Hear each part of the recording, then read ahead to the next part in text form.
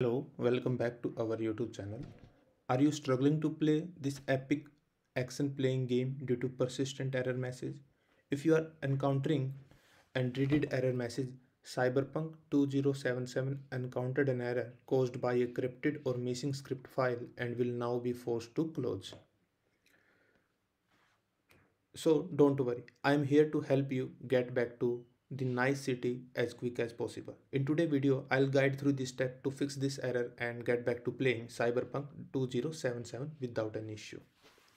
First, let's discuss the possible reason behind this error.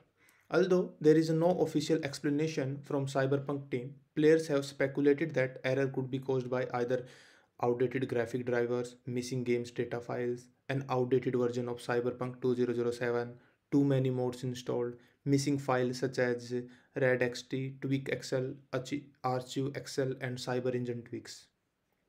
So now let's discuss how you can fix Cyberpunk 2077 encountered an error caused by corrupted or missing script file. First thing, uh, update your graphic driver. Make sure your graphics driver is up to date. Visit, uh, you can visit your graphic card man manufacturer official website to download and install the latest drivers. Second is update Cyberpunk 2077.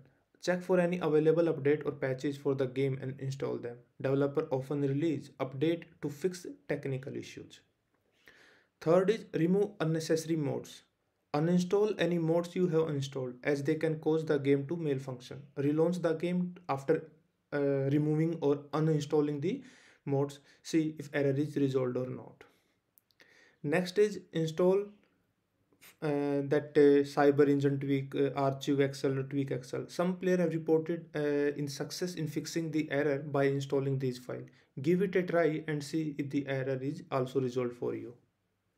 Next is verify Cyberpunk 2077 integrity of game file. Use the game launcher to verify the integrity of the game file. I have provided the steps for Epics uh, from the if you from Epic, Steam, and GOG.com. You can pause the video here and follow the steps to verify the integrity of the files. And after that, relaunch the game and see issues resolved or not. Next is uninstall and reinstall the Cyberpunk 2077. If all fails, then uh, try to uninstall the game from your system and reinstall it. This could potentially fix any corrupted or missing file causing the error.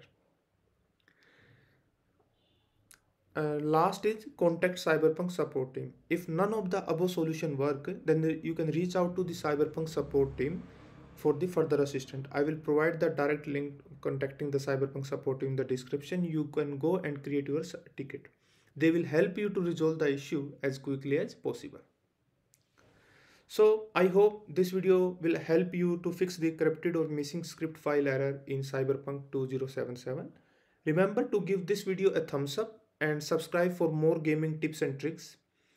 And as always, leave a comment down below if you have any question or additional solution to share with the community. Thanks for watching and I'll see you in next one.